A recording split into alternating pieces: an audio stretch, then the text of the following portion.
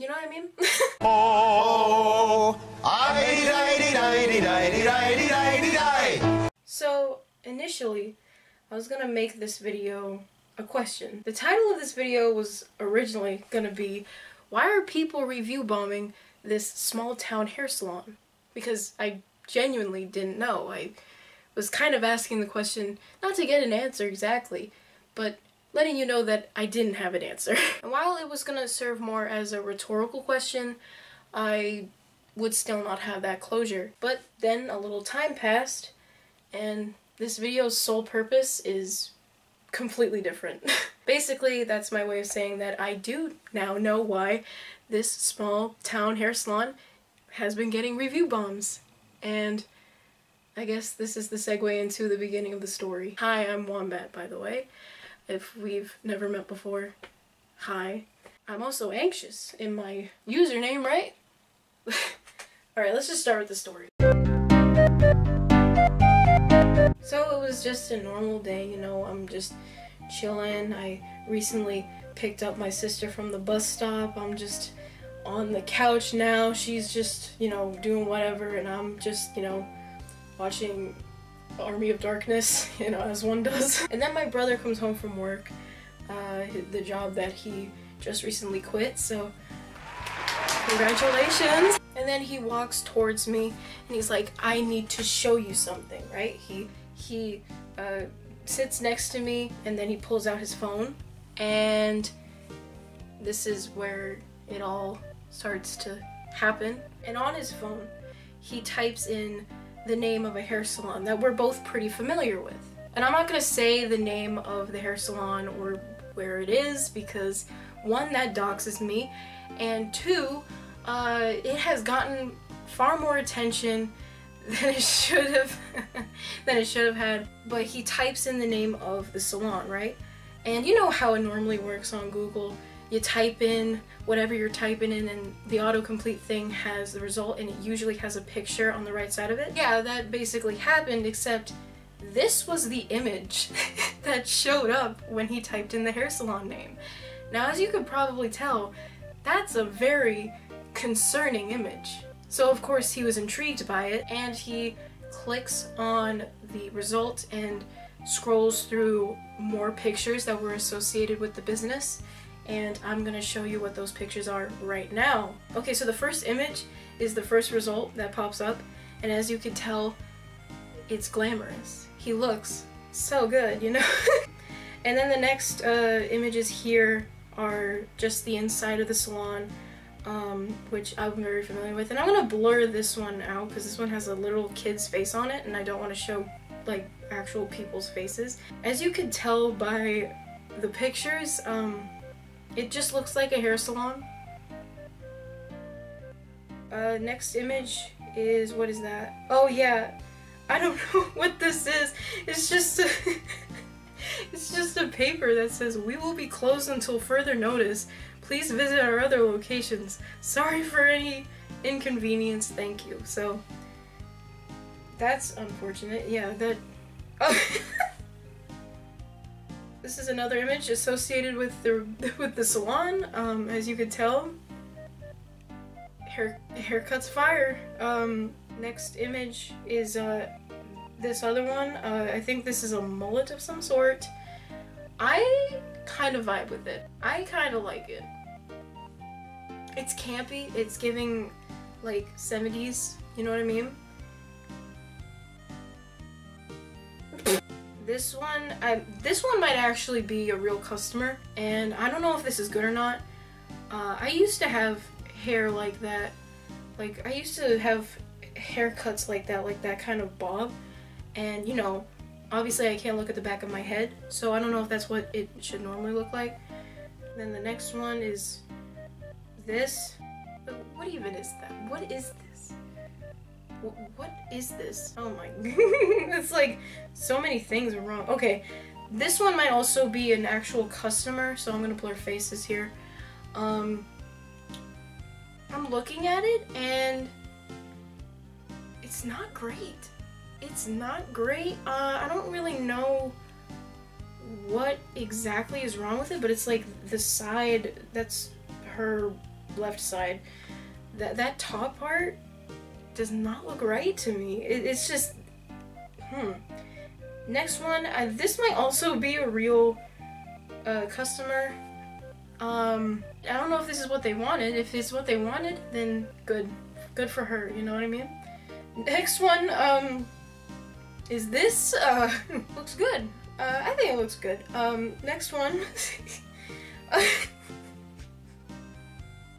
it's like Edna mode, but as a hat. Oh gosh, this one. Uh, I don't know if this hair salon does eyebrow work, but if they do and this is a real customer, speechless. uh, this one is just a lady. Oh. I think I've seen this one on other social medias. Um, took neckbeard to a whole new level, a literal level, I would say. And then this is the last one. It's like a pineapple and and and like Bill Cipher. So me and my brother saw those images that were associated with the hair salon and we were both really confused as to why so many images were indeed fake obviously meme images. And I've said it before, but we know this place. We personally know this place. I think we've been there at least once in our lifetimes to get a cut. Um, so this is kind of like big for us. We live in a rather, uh, as I like to call it, unimportant town. It's not necessarily small, but it's not the biggest either. Whenever something happens in our town, um, we celebrate it. We we cherish it. Whether it's a bad thing, whether it's a good thing, we make an event out of it. You know what I mean? One of the best uh, moments is probably um, knowing that Grown Ups, the movie Grown Ups, starring Adam Sandler, Chris Rock, Oh, Kevin James, and Rob Schneider.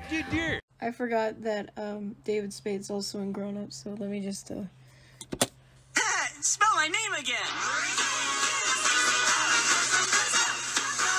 They filmed parts of the movie in our town, and we are. We're so proud to be civilians of this glorious town.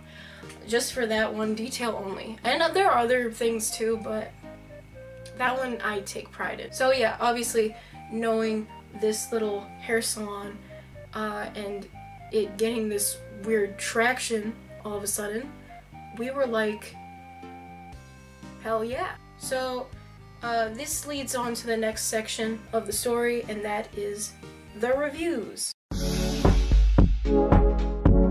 So the hair salon has a whopping overall review score of 1.7, and this is from over 600 reviews.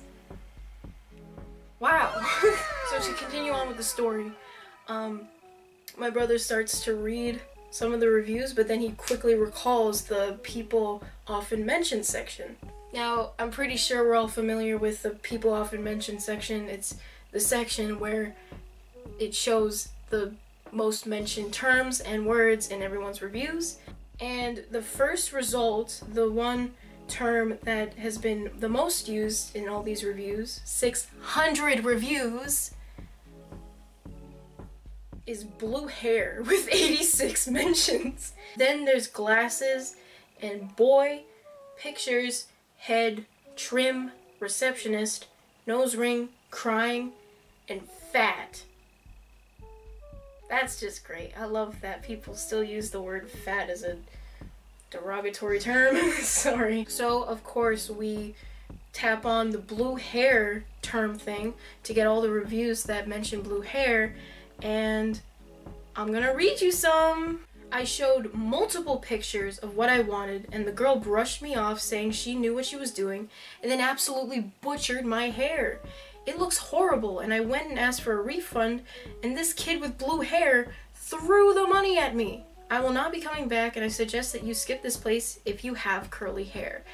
Now, I should mention that too. So, with hair salons specifically on Google, Uh, you can enter what kind of service that you were given. You can enter like if you got a haircut or what did they do to your hair. And you can also enter the type of hair that you have as well. And a lot of them have curly hair as their service. That ties in later. I will explain. Hi, editing Wombat here, and I realized I didn't mention something uh, in my initial recording. Uh, one of the reasons, one of the many reasons why this is so baffling for us is um, all of these reviews are um, from recent time. Like some are from four weeks ago, a month ago, some two weeks ago, one week ago. You can see on the reviews themselves, but I didn't mention that. Um, and that's one of the main reasons why it was so like attention grabbing to us that these all just came at a synchronized time, you know? Took my great nan in for a trim. What?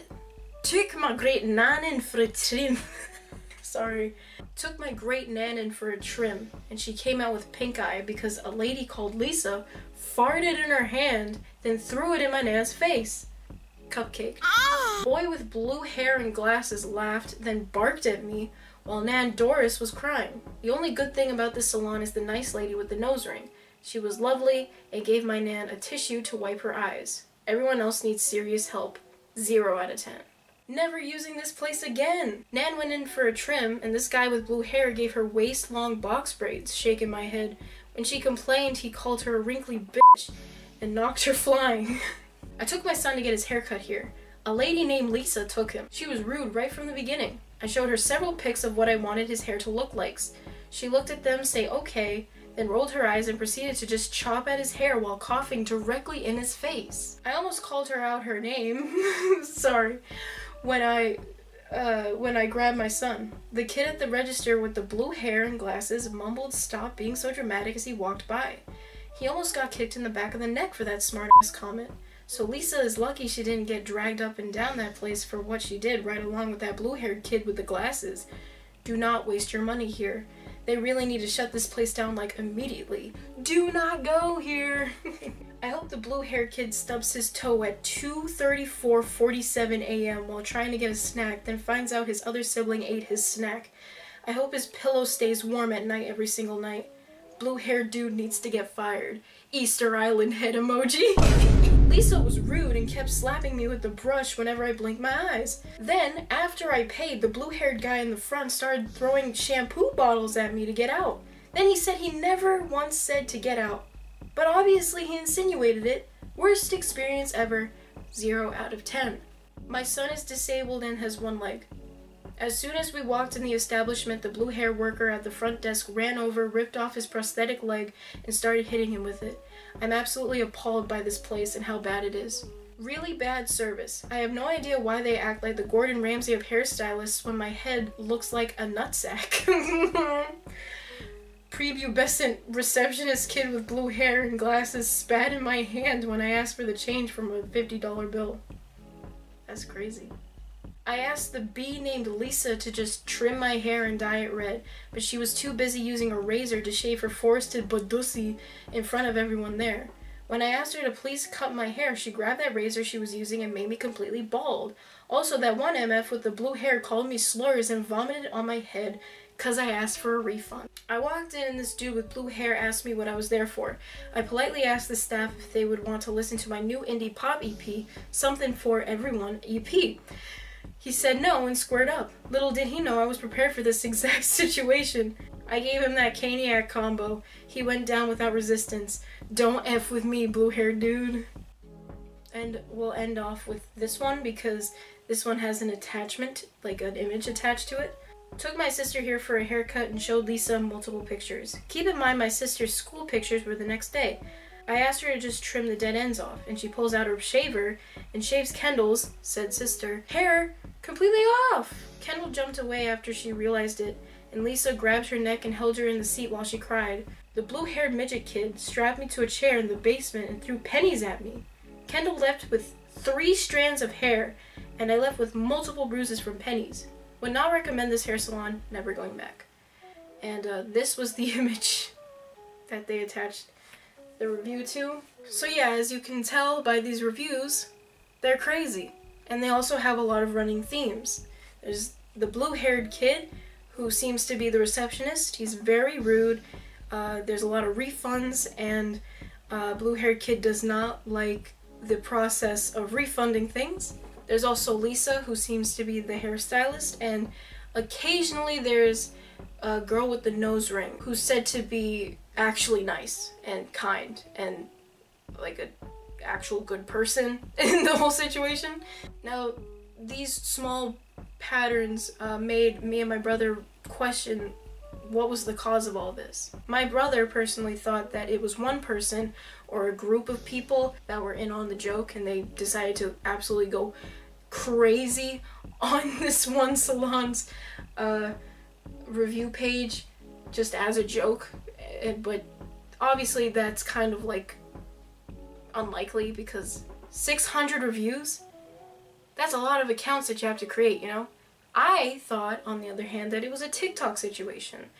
Do you remember the Axel Weber situation where it was like this one influencer with a lot of followers and he got an audition for like Juilliard, which is a very difficult school to get into in the first place. And then he like bombs his audition and gets rejected from the school and then his fans just completely bombard Juilliard's like social media comments like on their Instagram and stuff.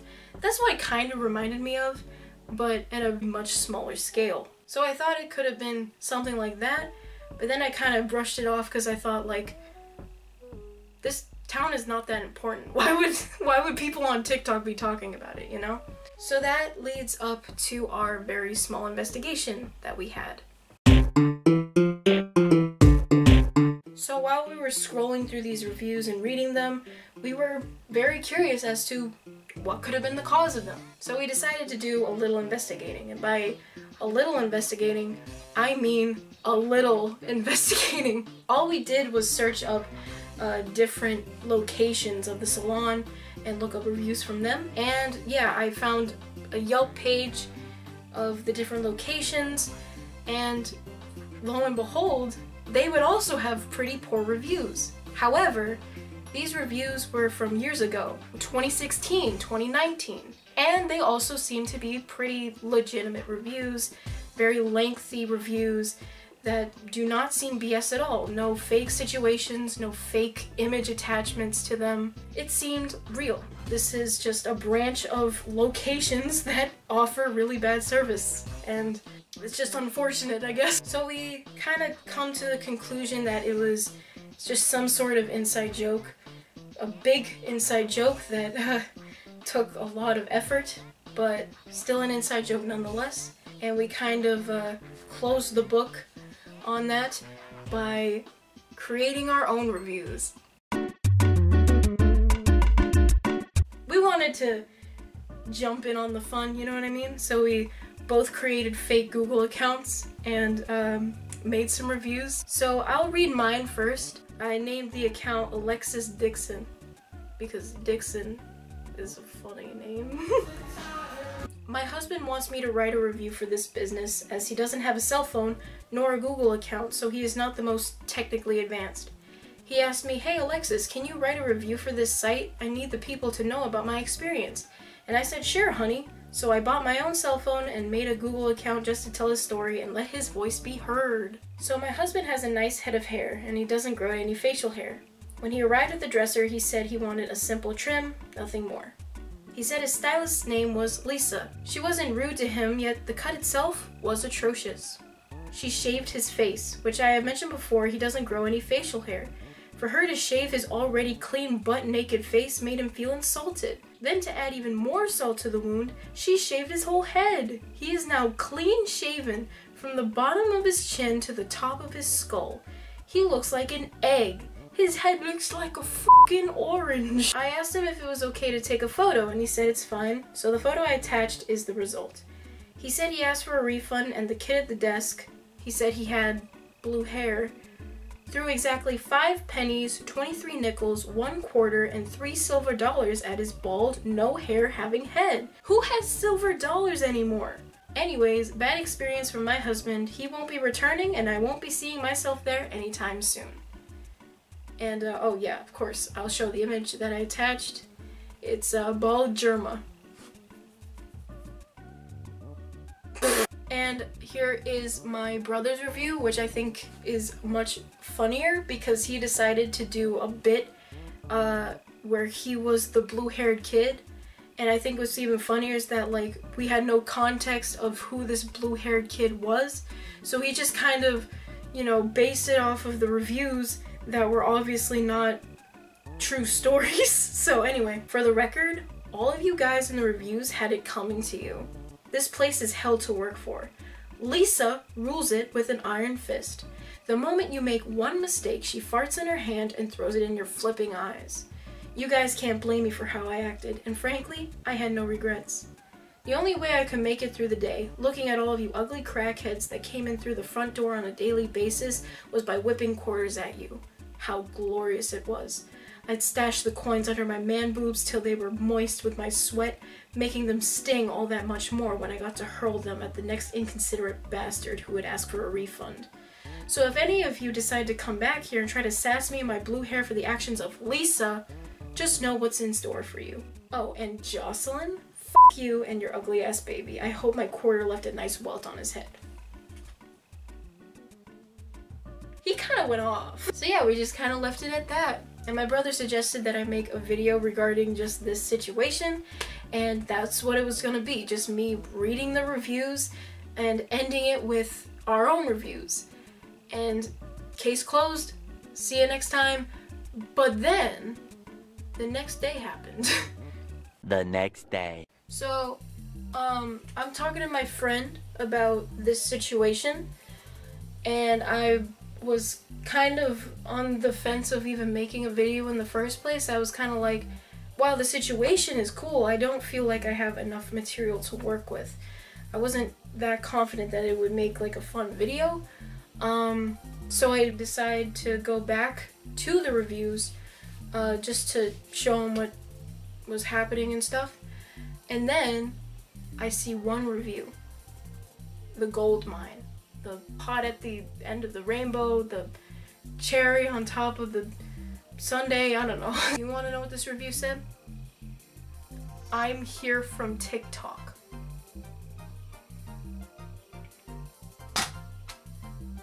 I was right. That made me go. I was like, I rush to TikTok, I go to the search bar, I type the name of the salon and the town that it's in, and lo and behold, I find it. I find the TikTok. It has 1.1 million likes, and it's by someone that I went to school with. Now you're probably wondering, like, why didn't I just search for it on TikTok? Um, when I was suspecting that it was a TikTok thing. Because I because I didn't, okay? I just didn't. I didn't think of doing that, okay? Uh, I'm gonna paraphrase the TikTok for you.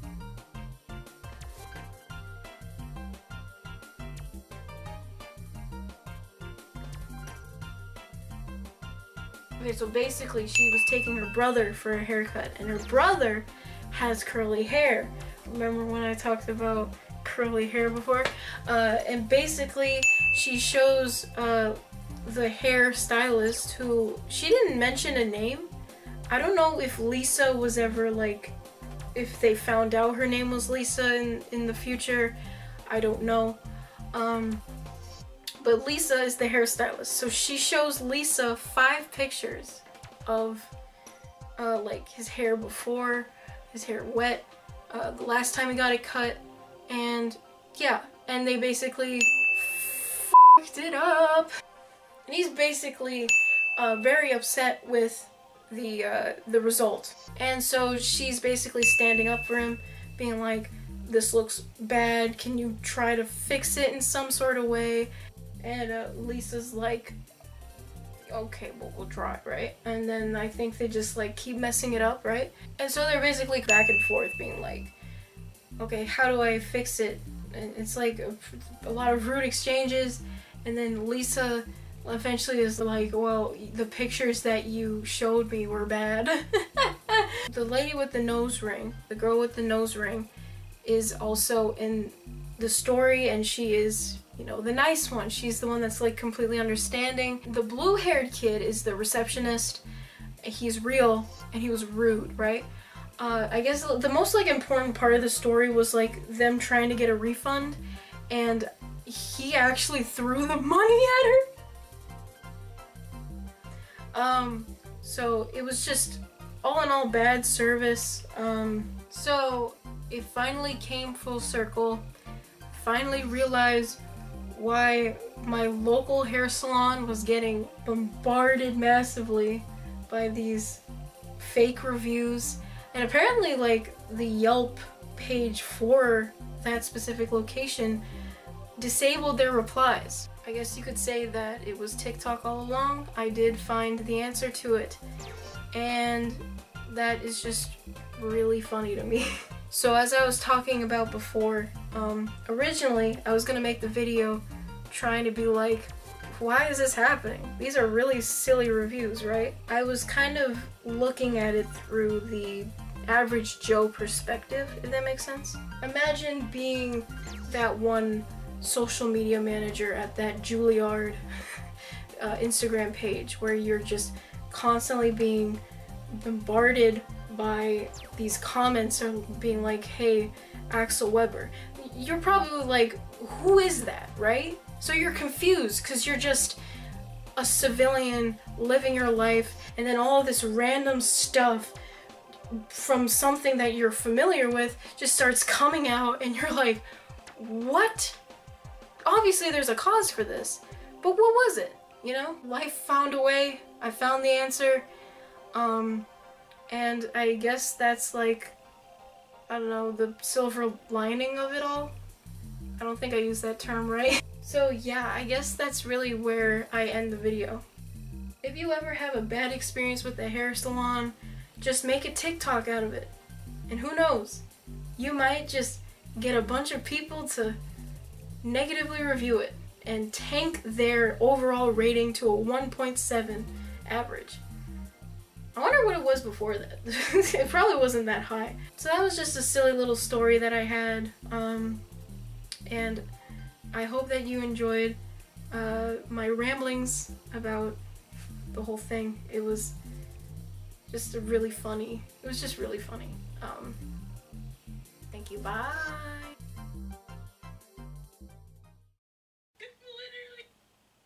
Certified DILF lover? oh, wow. That's crazy.